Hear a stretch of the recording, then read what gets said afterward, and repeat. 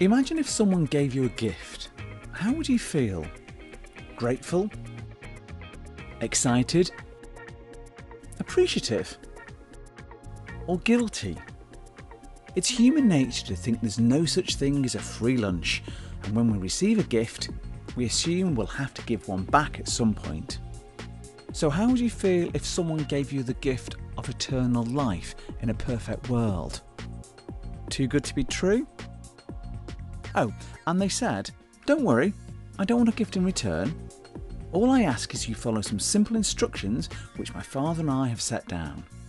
You change your life to do better, you try with all your heart, and if you fail along the way, don't worry, we can wipe the slate clean and start again. Really too good to be true. Well, this is what the Bible says that God and His Son, Jesus, is offering you. It's the ultimate gift, and they want to share it with you.